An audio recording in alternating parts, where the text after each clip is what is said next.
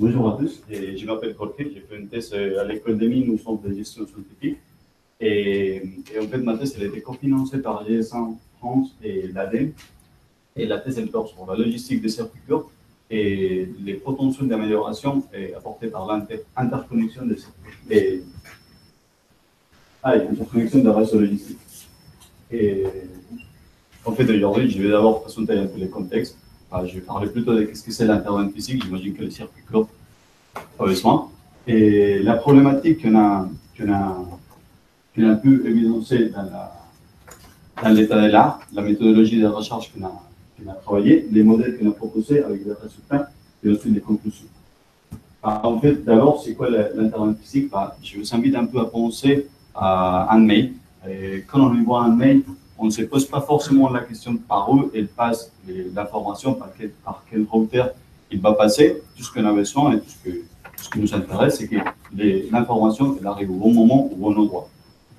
Et en fait, on essaye de faire un peu la même analogie, en tout cas les gens qui ont pensé ce concept, ils ont fait un peu la même analogie. Ok, on a un réseau et des hubs ouverts, partagés et interconnectés. D'une certaine façon, on se branche dans cet Internet, on envoie un produit et le produit, finalement, il va arriver au bon endroit, au bon moment. On n'a pas forcément se poser la question par où il passe et c'est le réseau qui va, va un peu trouver la, meilleure façon d'arriver. Et pourquoi on a pensé, pourquoi les gens qui ont pensé ça, ils, se sont posé cette question, c'est parce que la logistique actuellement, c'est des réseaux, c'est des réseaux et cloisonnés et dédiés qui sont bien optimisés, mais chacun dans son coin. Par contre, ils se superposent, quand on regarde en fait sur la carte, ils se superposent les uns avec les autres. C'est là où, c'est là où les gens ils ont évidencé qu'il y avait un potentiel d'amélioration assez, assez important et qu'il y avait des choses à faire. Et et en fait, ils se sont dit, bah, actuellement, c'est un peu comme ça, on va dire, et voilà, c'est des, des, traces directes, des livraisons directes. Et si on, au lieu de faire ça, chacun, chacun fait la, livraison, chacun travaille la logistique, on, on établit un centre de tri, un centre hub qui va faire un peu les, les pour, faire l'analogie avec l'Internet. Et en fait, on distribue, on y voit tous les produits dans, dans ce centre tri, et ensuite, enfin, on optimise un peu la, logistique derrière, en tout cas les, les camions. Pour travailler ce concept, en fait, il y en a trois composants qui sont clés, comme dans, les, dans la logistique. L'aspect interconnexion physique pour bien, assurer que les produits arrivent au moment, au bon endroit, pardon. Il y a une infrastructure informationnelle ouverte, mais sécurisée, c'est-à-dire que même si, si on se branche dans ce réseau qui est ouvert et partagé, on a, on a bien sûr la possibilité de regarder où sont mes produits, euh, s'ils vont arriver, s'il y a un problème ou pas, ou, on a cette, cette façon d'assurer la traçabilité. La traçabilité. Et derrière, les nouveaux processus d'affaires qui, qui ont s'est développé avec forcément un, un, concept nouveau, bah, il y a forcément des, des, des nouveaux business models à développer, des choses à faire. Dit comme ça, bah, ça a l'air intéressant, mais qu'est-ce que ça a donné? Bah, En fait, les gens qui ont, commencé avec cette, étude et ils sont d'abord travaillés en France, enfin, ils ont repris la carte de la France. À gauche, en fait, c'est la carte de comment il s'était fait la logistique à l'époque, enfin, ça fait il y a 7 ans environ. Et comme c'était les livraisons avant et à la droite, et vous savez, une fois qu'ils ont, qu'ils sont établis les sobres ou les, les, les possibles centres de routage, qu'est-ce que ça peut donner? Déjà sur la carte, on voit une différence. Et ensuite, si on, regarde euh, au niveau des KPI, bah, qu'est-ce que ça donne? Moins des distances parcourues, moins de 15%. Les, le niveau des stocks qui est partagé dans les centres dépôts, il diminue aussi de 30%. Les taux de remplissage dans les camions, on peut les, on peut les remonter. Et aussi, les, et les 60%, on peut diminuer les pourcentages de CO2 qu'on va produire. Ça, c'est une étude qui sont concentrées, en tout cas qui sont faites sur la grande distribution en France. C'est intéressant et c'est là où, enfin, c'est là où j'ai commencé la thèse, c'est là où ça intervient. Mais ok, ça, c'est ce qu'on peut attirer dans la grande distribution. Et pour les circuits courts, qu'est-ce que ça peut donner? En fait, j'ai commencé déjà par regarder un peu sur la, sur la littérature qui existait en France, mais aussi, aussi dans, dans l'Europe et ailleurs. Et, en fait, je me suis assez surtout sur, niveau France, sur la bibliographie d'Amélie González, et, González pardon, et on, souhaite, en fait, il y en a, à l'Université de Suède, il y en a un groupe de, travail qui, qui, est pas mal focalisé sur, sur les circuits courts et la logistique des circuits courts. Et du coup, j'ai repris aussi pas mal de, de ces travaux pour, pour faire l'état de l'art et pour établir les, les, questions de recherche que, je l'ai développées dans, ma thèse. Aujourd'hui, je vais vous parler un peu des, des deux premières. Et la première, c'est comment construire un modèle logistique partagé qui soit adéquat aux besoins et aux caractéristiques des circuits courts, et notamment des circuits courts en France. La deuxième question de recherche, c'est la logistique des premiers kilomètres ou la collecte au milieu rural local. Et la troisième question de recherche, c'est la logistique du dernier kilomètre. Encore une fois, aujourd'hui, je vais vous présenter plutôt les, deux premières questions de recherche. La méthodologie, la méthodologie qu'on a travaillée, c'est pour la première, on a, traité les enquêtes et les données qu'on avait sur, avec un, entreprise commercialisant des produits en circuit court en, en Ile-de-France. Et du coup, on a eu accès des enquêtes avec des producteurs qui travaillent, qui travaillent avec eux. Et pour la question de recherche numéro, numéro 2, on a traité les données des, flux et les ventes qui sont eues pendant toute une année. Pourquoi on a pris toute une année? Parce que ça, ça nous permet en fait de, de, regarder la saisonnalité des produits et la saisonnalité des, des différents producteurs. Je vais commencer par la première question de la recherche, l'analyse de l'existant avec les enquêtes. Qu'est-ce qu'on a pu évidencer Et actuellement, il y en a des producteurs qui mutualisent, oui. Par contre, il y en a, une caractéristique qui est très forte, c'est que les producteurs qui mutualisent, ils les font surtout entre trois producteurs. Quand, quand ça commence à être plus grand, ça, commence à poser des questions pour, pour les gens. Du coup, 61% des producteurs mutualisent avec maximum trois producteurs, dont 13%, c'est à chaque fois qu'ils sont, ils sont, un, ils sont un, produit à livrer, bah, ils, travaillent ensemble. Et 43, 48% de temps en temps. Qu'est-ce que ça veut dire de temps en temps Une fois sur deux, une fois sur trois. Et 39%, bah, ils travaillent tout seuls. Par contre, une des analyses importantes, une des, des caractéristiques importantes de cette étude, c'est qu'ils ont aussi posé la question de, OK, dans l'avenir, comment vous envisagez la logistique? Comment vous pensez que ça va évoluer? Pour vous, mais aussi pour toutes les réseaux Du coup, ils ont dit 75, 75% pensent qu'ils vont mutualiser. On voit que ça remonte de 61 à 75. Par contre, il y en a un aspect qui reste très, très important pour eux, c'est plutôt travailler entre producteurs. Et, et c'est pour ça que 75%, donc c'est 66 et mutualise avec des autres producteurs. Neuf, ils pensent qu'on peut, on peut le faire avec un, transporteur. Par contre, il reste quand même un 25% qui disent OK, on, travaille tout seul. Donc, il y a deux aspects clés que j'ai retenus pour la, pour la modélisation, ensuite pour la, la deuxième question de recherche, c'est OK, si on va travailler, et, si on va mutualiser la logistique, déjà que ce soit trois, trois producteurs, et que ça reste entre producteurs plutôt que, que regarder ailleurs. Donc, je vais retenir ces, deux aspects pour les cahiers, de, les des charges ensuite pour, les modèles qu'on a proposés. La méthodologie pour la deuxième, pour la deuxième question de recherche, je me sépare un peu des, des, des, aspects mathématiques, mais on peut en parler plus si vous voulez. Mais déjà, on a fait un, on a, on a, utilisé la méthode Cummins pour trouver des groupes de producteurs qui vont travailler ensemble. Avec cette méthode, on regroupe les producteurs qui sont les plus proches géographiquement. Et on a en même temps calculé les, les tournées, la tournée pour faire la collecte, en tout cas les, temps qu'il fallait pour connecter les différents transporteurs, pardon, les producteurs. Et à savoir, c'est une optimisation sur la route, pas sur la carte, pas, en vol oiseau.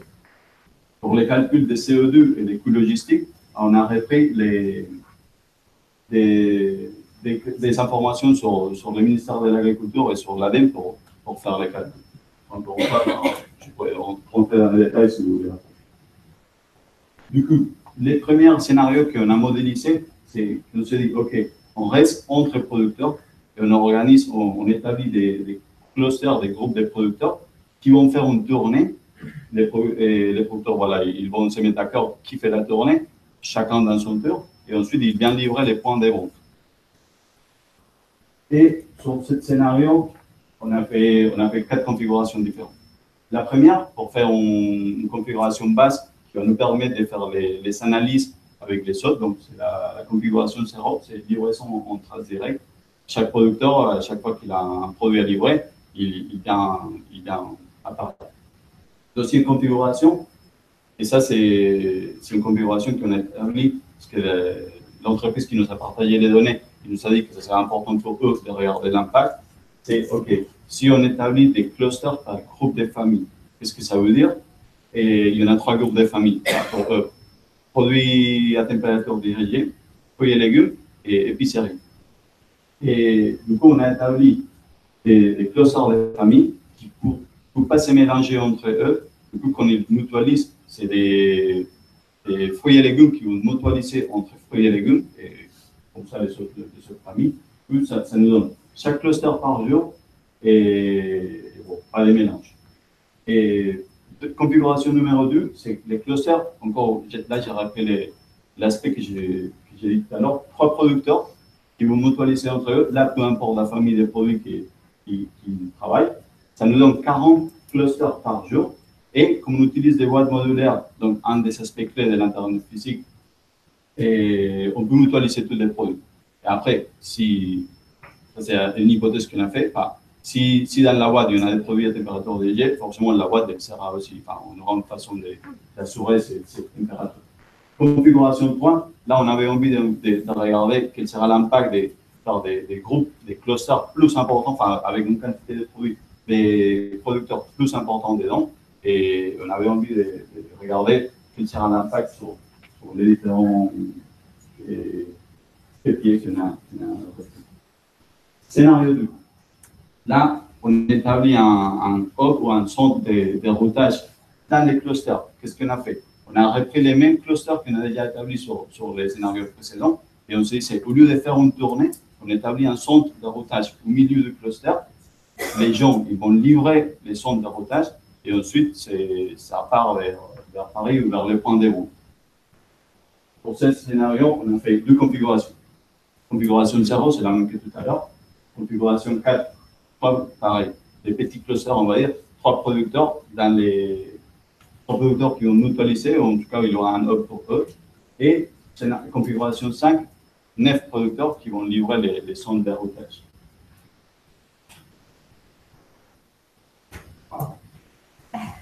Ok, ça, ça a un peu changé, mais c'est pas grave. Ça a un peu changé, mais, mais du coup, là, c'est un peu les tableaux des résultats ce qui, est, ce qui était important, enfin, c'est un peu, un beaucoup des, éléments, mais ce qui était important pour moi, en tout cas, les, points les plus, les plus importants que j'ai pu attirer, c'est que sur, les, sur les, la configuration et 4, c'est les les, clusters des petits producteurs, en tout cas trois producteurs, on arrive à avoir des, des résultats plus importants, enfin, meilleurs, en tout cas, au niveau des la distance parcourue, les temps de livraison et les coûts logistiques.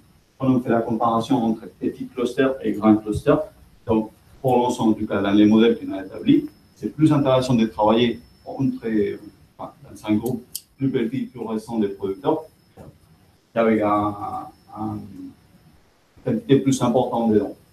Il y en a un autre aspect qui est très très important et qui m'a beaucoup marqué, c'est les nombres moyens de véhicules qui vont rouler. Du coup, c'est plus d'évolution, plus d'évolution, c'est plus, compliqué sur la route. Du coup, voilà, quand c'est configuration de zéro, des traces directes, forcément, il y en a beaucoup plus. Par contre, dès qu'on commence à mutualiser, ben, on voit qu'il y en a une configuration 2, encore une fois, et 4, encore une fois, c'est trois producteurs. Là, c'est 19. Quand on fait des, groupes plus importants, ben, les voitures, forcément, ils vont, diminuer. Il y en a un petit question, le nombre de véhicules, c'est toujours la même taille de véhicule Non, c'est la question il y a de revenir. Quand on parle des configurations de 0 jusqu'à 3, c'est des véhicules utilitaires. Par contre, quand on passe configuration 4 et, 6, et 5, c'est pour ça que les taux sont plus importants. Là, j'ai rappelé l'hypothèse enfin, basée sur, sur les documents de l'ADEME et quel est le taux de remplissage des, camions qui que là, on, parle plutôt de, soit un transporteur, soit un, producteur, mais qui aura une quantité bien plus importante. Et, voilà. Si vous avez des questions, voilà. Après. Euh, et du coup, voilà, comme conclusion, des, conclusion de cette présentation que j'ai faite, c'est que l'observation des, pratiques réelles des acteurs montre différents arrangements qui interviennent entre les producteurs qui sont déjà dans les systèmes. Donc, je pense qu'il reste quand même un, aspect important à croiser et, encore des, étapes à, aller plus loin dans, cette, logique. Et une autre conclusion, c'est que pour implémenter de nouvelles pratiques logistiques, il y a forcément besoin, il existe un besoin très très fort des outils de communication. Parce que déjà, quand, on avait quand on avait fait les enquêtes, on a, on a, on discuté avec les producteurs qui travaillent, travaillent avec eux, on s'est aperçu que derrière la, la communication entre eux, parfois, ça s'est passé vraiment au, téléphone ou au mail les jours même. Donc, il faut, il faut vraiment un, un outil qui va permettre un peu de, de, monter, et en tout cas dans cette capacité logistique pour mieux, mieux gérer la, la chose. Et les conclusions des, résultats un peu numériques, c'est que la réalisation des tournées et l'implémentation des COP en amont, là, encore une fois, la, question numéro 3, la question de recherche numéro 3, c'était plutôt l'aval, mais là, en amont, ça permet déjà une réduction substantielle du temps et de la distance parcourue d'un arbre.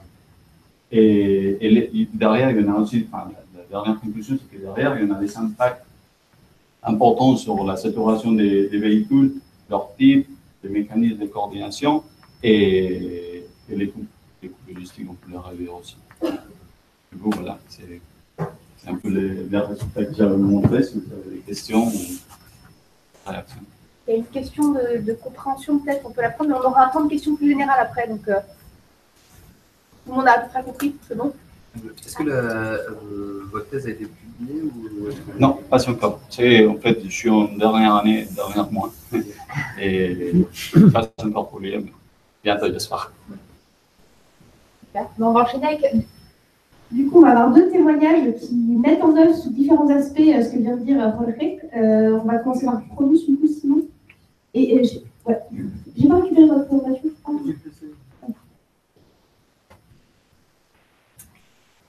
Ne s'était pas consulté, je ne connaissais pas les résultats euh, présentés par José, mais c'est très intéressant, plutôt rassurant sur les modèles qu'on met en place. Donc Promus, on est sur la logistique des circuits courts, sur l'optimisation en fait, des flux logistiques entre producteurs et clients.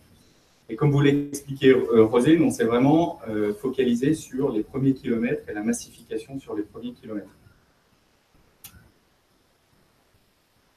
Donc notre conviction, c'est qu'effectivement, il faut développer les, circuits courts. Et pour nous, un des freins principaux est la logistique, parce que le développement des circuits courts signifie une multitude de producteurs disséminés sur tout le territoire, une multitude de points de destination, et comme on l'a vu, ça devient extrêmement complexe en termes d'organisation logistique. Euh, du coup, je vais passer directement à ça. Et donc notre approche euh, est, basée sur la création de hubs, de mini-hubs logistique automatisée. On vient positionner chez des agriculteurs euh, qui servent aux agriculteurs à déposer leurs colis à expédier. Donc, un, euh, un milieu va collecter sur un, rayon de 15-20 km maximum. Donc, l'agriculteur dépose sa marchandise. Le, ce milieu est réfrigéré, automatisé. Donc, il échange de l'information en temps réel avec, euh, avec Promus. Et à partir de ces points, on va organiser tout le flux logistique jusqu'aux différents clients sur le territoire majoritairement local, mais ça peut euh, évidemment partir sur des, circuits logistiques plus standards à longue distance. Euh, évidemment, pour, euh, pour faire fonctionner ces, ces mini-hubs, on a une brique logicielle, une interface avec les différents acteurs et de l'intelligence sous la forme d'algorithmes qui nous permettent d'optimiser en temps réel en fonction des flux qui vont transiter ou qui transitent via les box, donc d'optimiser les circuits et, et la logistique sachant qu'on n'est pas logisticien, on va acheter euh, entre guillemets la capacité logistique aux logisticiens déjà présents sur le territoire pour, euh, bah, aussi optimiser le remplissage, euh, le remplissage des véhicules et choisir en fait le véhicule le plus adapté au type de flux à gérer. Du coup, en termes de fonctionnement très concret, c'est guillemets assez simple. Hein. Donc le producteur va renseigner ses commandes sur la plateforme. on en a parlé tout à l'heure, d'où l'intérêt là aussi d'avoir des, communs, des formats d'échange partagés pour faciliter l'interfaçage, en tout cas la communication d'informations à Promus. Nous, les informations clés, c'est euh, euh, la commande, en gros, où est-ce qu'on doit livrer, pour quand, euh, quel type de produit.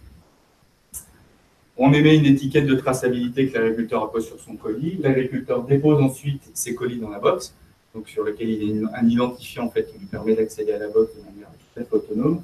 Il dépose ses colis et à partir de ça, nous, on organise l'ensemble du flux logistique pour récupérer la marchandise et la livrer. Donc voilà en quelques mots le, schéma. Euh, voilà l'équipe. Donc aujourd'hui, on a on a déployé nos premiers hubs sur Nantes. On va déployer dans les prochains jours euh, de nouveaux hubs sur Lyon. Euh, et puis après, comment l'histoire se poursuit. Voilà. Merci. Merci pour ton efficacité dans l'exercice du pitch. Je vais demander le même exercice au chemin des murs à Nils. Il m'a fait mon boulot, j'aurais récupéré après. Euh. Ah, je sais pas si tu veux. Ah, je pensais que c'était pas grave.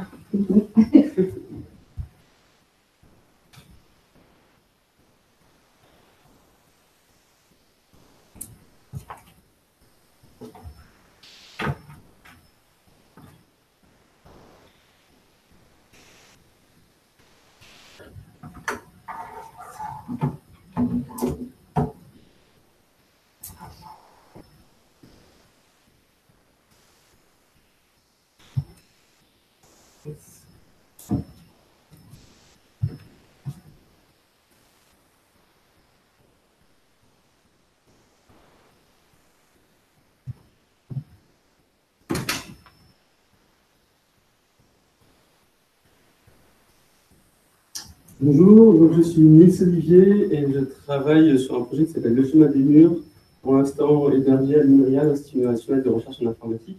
Euh, je travaille avec Adrien et Martin qui sont ici aussi, sont présents. Du coup, notre approche, nous, c'est, euh, en fait, d'abord, notre approche, c'est aussi une approche de consommateur, c'est de dire, euh, moi j'étais parisien, je me dis comment c'est fait, j'ai des difficultés à accéder à des produits locaux. Et en fait, on s'est renseigné petit à et en fait, on s'est rendu compte que ouais, le local, c'était super, il y a plein de gens qui étaient motivés, Sauf que euh, au final, c'est au niveau du transport qu'il y a un problème, et c'est ce qui pose des difficultés euh, pour accéder aux, produits locaux. Ça, on l'a un peu expliqué, donc je passe. Mais euh, voilà, maintenant, je vais vous expliquer un peu comment nous, du coup, on a illustré un peu cette problématique de la logistique de transport et ce qu'on compte faire. Donc déjà, en fait, c'est un peu pour poser la situation. Un circuit long, c'est quoi? C'est un circuit où finalement, le producteur et puis le commerçant final ils sont trop loin pour avoir une proximité, un contact direct. Donc, qu'est-ce qui se passe dans un circuit long? Ben, On met euh, une logistique intermédiaire, un entrepôt, des transports qui permettent de faire cette connexion. Ce qui est bien, c'est que ça implique que la personne euh, qui gère la, logistique intermédiaire, elle peut avoir des véhicules et elle peut s'occuper de faire euh, les tournées de, livraison. Et on voit qu'il y a un véhicule, du coup, qui peut s'occuper de faire toute la collecte et l'autre qui fait la livraison. Donc, ce qui permet de massifier le transport. Parfois, on observe aussi des producteurs qui directement livrent euh, la logistique euh, intermédiaire. Alors voilà, le problème c'est quoi? C'est que bah, finalement, a un peu, on s'en a rendu compte euh, pour le local, c'est tout ça, ça a un coût parce qu'il faut la payer, cette logistique intermédiaire pour les producteurs et les consommateurs. Et en plus, on perd en visibilité, en fait, du côté du producteur qui voit du tout comment son produit est commercialisé, perd de la traçabilité. Et en fait, euh, bah, ça s'accentue avec la distance, et puis on voit qu'il en fait, il y a beaucoup d'intermédiaires de gestion, de logistique, et que ça coûte encore plus cher, et du coup, il y a encore moins de visibilité. Donc, euh, c'est pour ça qu'on est tous intéressés par, le local. Alors, ensuite, qu'est-ce qui se passe en local? En local, bah, on a euh, du coup une proximité possible entre le producteur et puis le consommateur ou le point de vente final. Alors, on se dit, bah, on peut encore utiliser les, intermédiaires de, logistique, hein, ça marche très bien, ils permettent de massifier aussi le transport. Sauf que bah, finalement, ça coûte encore de l'argent, ça coupe encore un peu le contact avec euh, le consommateur final, et on perd encore cette visibilité. Donc la question, nous, ce qu'on s'est posé, c'est comment justement faire pour euh, supprimer ces inconvénients, sachant qu'on est en local et qu'en fait, elle existe cette, possibilité de proximité de ces contacts directs. Alors, du coup, une première solution qui a été imaginée, hein, c'est celle qu'on voit plus euh, régulièrement, c'est que les producteurs ils se disent bah, j'ai un véhicule, je vais l'utiliser pour aller livrer. Alors qu'est-ce qui se passe? Et bien finalement, ça lui prend du temps. C'est lui qui prend son véhicule et c'est du temps qu'il n'a pas forcément. Et du coup, quand il va faire sa livraison, bah, il, se limite, il se limite au niveau de son marché. Bah, il va pouvoir livrer quelques personnes, mais pas tout le monde, pas tout, tout le marché accessible en local. Et euh, en plus, du coup, de ce fait-là, bah, il y a un véhicule qui n'est pas complètement chargé. Donc, euh, pas de massification de produits. Et euh, en plus, le temps passé sur le transport, c'est du temps passé en moins sur l'exploitation et c'est de l'argent perdu. Du coup, c'est pour ça qu'en fait, euh, aujourd'hui, c'est pas une solution qu'on a. hein, ça explique un peu la situation. L'autre possibilité, c'est de faire intervenir un transporteur pro. Donc là, c'est une bonne idée parce que comme ça, ça permet de ne pas perdre de temps. En fait, le transporteur pro, il est un peu emmerdé. Euh, c'est lui, quand il étudie le problème, ben, il a ça sous les yeux et il ne sait pas du tout gérer. Euh, parce que lui, son but, le transporteur pro, c'est de complètement euh, charger son véhicule. Et mais là, il ne sait pas comment faire pour faire la tournée qu'on lui demande quand, il- a ça sous les yeux. S'il doit en traiter un par un, bah, en fait, il ne charge pas son camion, du coup, il surfacture et ça devient cher pour le producteur. Donc ça, ça explique un peu la situation actuelle du marché local, euh, qui est euh, du coup à cause du type de, logistique que ça implique. Il n'y a pas de transporteur pro et c'est quand même une grosse difficulté pour le producteur. Alors, nous, notre euh, positionnement, hein, c'est justement bah, comment travailler sur en fait, ces flux. Voilà, nous, on va vraiment sur ces positions, c'est comment on va travailler sur ces flux pour les rendre plus optimaux. Et du coup, en fait, ce qu'il faut voir, c'est que c'est pas simple du tout parce que pour, les, euh, pour pouvoir travailler sur ces flux, il faut prendre en compte toute la complexité, tout le volume de livraison à faire dans une localité, euh, tous les véhicules différents, les, les compatibilités. Donc, euh, c'est quand même un travail assez gros que qu'on fait d'ailleurs à développer. C'est c'est assez complexe. Et ben, du coup, nous, en fait, euh, ce qu'on est en train de développer et ce qu'on fait, c'est complètement, voilà, justement, travailler sur cette moteur d'optimisation en utilisant des résultats de recherche assez récents et vraiment en développant une solution sur mesure. Euh, parce qu'en fait, les solutions aujourd'hui, comme Mapo Tempo, bah, c'est bien pour un seul producteur qui doit optimiser sa livraison à lui. Et dès qu'il s'agit de mutualiser, d'optimiser vraiment et, de prendre en compte toutes les contraintes entre plusieurs producteurs, bah, il n'y a plus rien qui existe. Et du coup, là, c'est notre but. Mais aussi, ça implique de se positionner en tant que tiers de confiance pour vraiment gérer aussi toute cette mutualisation, la traçabilité, euh, tout le suivi administratif du transport. Donc là, on voit qu'on peut simplifier complètement euh, la quantité de routes entre les points de, départ et les points de livraison, du coup, au niveau euh, du trajet. Ce qu'il faut voir, c'est que là, donc, j'ai euh, représenté euh, pour un circuit local en direct du producteur au, marché, final, mais ça marche tout aussi bien pour s'intégrer en fait à des plateformes logistiques de circuit long. C'est-à-dire qu'on peut très bien, avec ce type de solution qu'on développe, optimiser pour aller livrer en partie de- des centres logistiques et des points de vente, et, pareil pour euh, livrer à partir d'exploitations ou même de centres logistiques qui proviennent du national ou de l'international.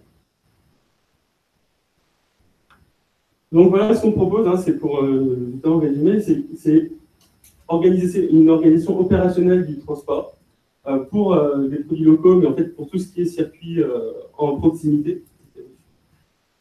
Je ne sais pas ce qui se passe.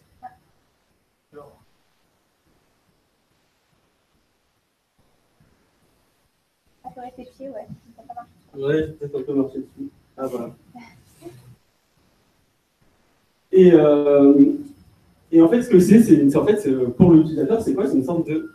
Ah. Euh, un Pourtant, il est bon branché, un faux contact, peut-être. peut-être.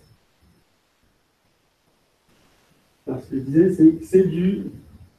Bon, c'est pas, pas grave. C'est bon là. En fait, pour l'utilisateur, ça c'est quoi? Ça serait une sorte de covoiturage alimentaire euh, sur euh, tout ce qui est circuit euh, de proximité. Avec du coup, mais ce que ça implique, au-delà de l'aspect technologique, du coup, d'être capable de créer ces tournées, bah, c'est de les organiser et, du coup de coordonner les producteurs entre eux. hein. donc là, c'est ce que vous expliquez, c'est, il faut se en tant que tiers de confiance, c'est assez important.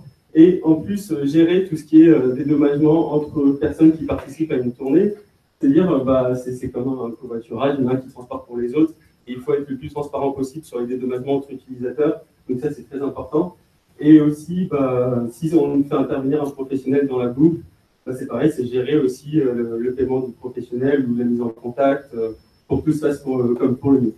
Donc nous, ce qu'on imagine comme résultat, en fait, à partir de premières simulations qu'on qu'on est en train de faire, bah, c'est quand même une capacité à surtout réduire le temps passé sur la route parce qu'un producteur n'est pas obligé de, de, euh, livrer à tous les coups. Il y a d'autres personnes qui peuvent livrer pour lui. Du coup, c'est aussi un gain de flexibilité hein, par le- les mêmes- pour les mêmes raisons. C'est un gain au coût aussi, forcément, parce qu'on va réduire les distances totales parcourues. Et euh, du coup, pareil pour euh, l'impact écologique, hein, c'est moins, moins de routes, euh, moins d'impact.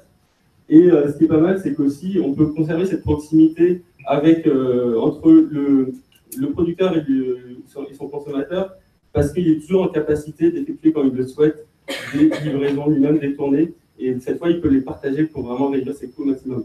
Donc en fait, notre euh, ambition, c'est vraiment de remplir le véhicule le plus possible euh, sur ces circuits, euh, pas sur le du coup nationaux, mais sur les, sur les parties courtes, que ce soit au premier kilomètre ou plutôt vers le dernier kilomètre.